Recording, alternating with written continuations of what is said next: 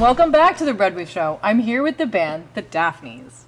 I'm so happy that you guys are on the show. I just have to say because I know people are gonna love watching you play, um, and this is really exciting for us because we're gonna have the full band with everybody like all hooked up properly. Which I usually have a lot of acoustic performances, and I really wanted to like take it to the next level when you guys came on the show, so we get to like hear what you really sound like, and I'm very excited about that. It's gonna be super fun. It's gonna be a lot louder. That's what's gonna That's right, a lot louder and a lot cooler. get some earplugs in here. No. and so, what songs are you going to play for us? We're gonna play New Degrees. It's like our last single, and then we're gonna play. We have a new one we're releasing in like a month or two called "Be Your Man." Cool. So it's like a little sneak peek. That's awesome. yeah. First one's always known as cowbell song. It's got the cowbell. It's got the cowbell. So well, like Queens of the Stone Age, you know, kind of. You know, Mississippi Queen, Queens of the Stone Age, they all got it. You know. Yeah. Christopher Walken. Christopher. Christopher Walken. Yeah. Needs more cowbell. Yeah. No, it's cool. Mm-hmm. It sounds amazing. That's the most recent release, and then you have your new one coming out. You're going to be playing. So that's exciting. Have you been playing that at any other venues? we played it at some shows. Um, like the whiskey. Was that the first show we played it at? Yeah, one of the first, I think. Yeah. So I Uh. think that was the first one we brought it out, and that was fun. Nice. You gotta test it out and make sure people don't hate it. Yeah. Yeah. well, it's a really jumpy song. It's very boons, boons, boons. So at the whiskey, we're like, oh, we actually have a crowd to jump with it. So we're curious if it'd work, and we opened with it. Everybody started Yeah, dancing. it, it all worked out. Yeah. That's so interesting. So, like, do you test out your songs that way? That For sure. No, no. Yeah? We, I mean, we can try, but it usually doesn't work out. If you have to have a whiskey crowd to like kind of Yeah, it. it definitely depends on the show. Yeah. like, yeah, exactly right. Where venues? Yeah. What venues do you guys play it down in Orange County? So it's mainly like smaller bars, clubs, things like that. Um, we've played the Grove of Anaheim a couple times. It's by like Angel Stadium. Okay. So that's Yeah. like one of the bigger fun That's sort places. of like a whole outdoor venue type thing. So that one's it's like a amphitheater. It's like a giant warehouse. cool. Yeah. That's pretty cool. Mm-hmm. awesome. What was what's like the biggest crowd that you've had so far? Probably the Grove. The Grove. Yeah. It's like 1200, Opening up 1300. for Stryper. Yeah. It has like an 80s Christian metal band that we opened for.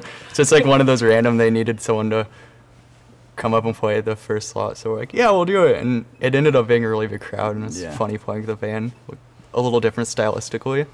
But That was an Yeah. interesting show. My, my, our friends were in the crowd because they want to see our biggest show go down.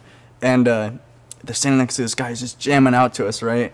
And they're like, man, this kid's, they're all killing it right now. And they're like, oh, yeah, we know him. You know, they're our friends.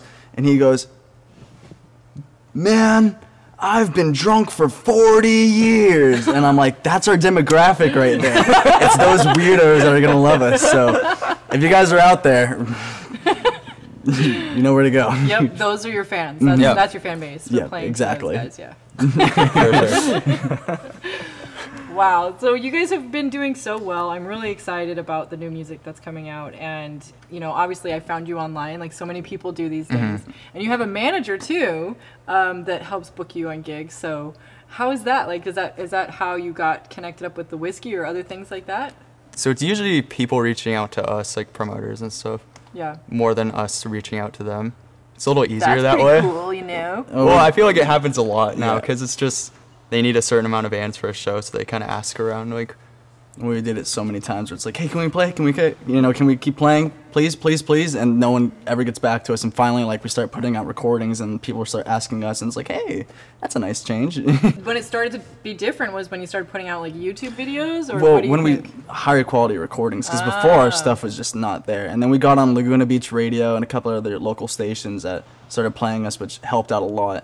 You know, so maybe they heard us through there or something like that. But So having that producer that worked with you guys made a big difference. just huge someone to tell us like, yeah. hey, you're not in tune, and also play to the click, and you know, like you can't be m- making mistakes on a recording that's going to be played on the radio a lot. No. So, yeah. Good point.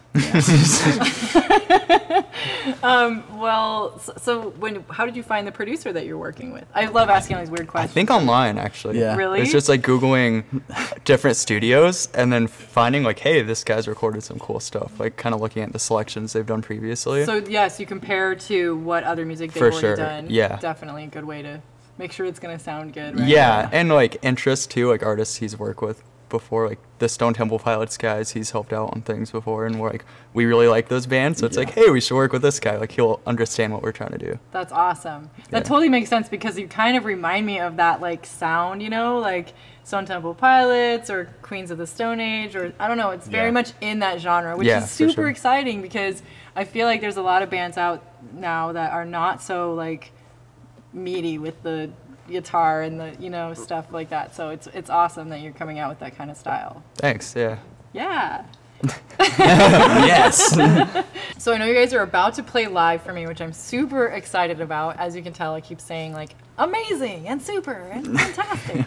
but it's true. I'm really, really happy. And th- I've been doing this show for five years, and I've had a lot of bands on the show, and I always get to talk to amazing musicians and people that have gone through so many different stories and mm-hmm. you know backgrounds. But I haven't gotten to have the bands come and like really jam. So I'm really, really excited about that.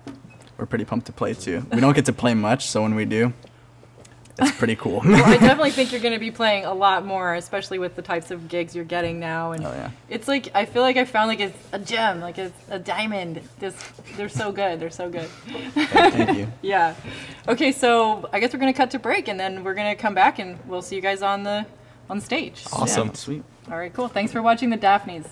Stay tuned. Hey guys, I hope you're enjoying my interview with the rock band The Dafneys. Keep watching by clicking here.